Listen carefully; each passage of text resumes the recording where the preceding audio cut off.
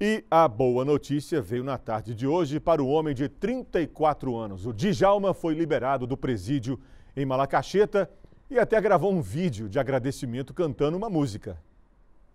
Alô galera, eu quero aqui agradecer a todos os policiais civis daqui de Malacacheta e vou estar cantando um trechinho dessa moda chonada para vocês. Vamos embora começar assim, ó. Olha ela aí, deu volta no mundo e parou na minha porta.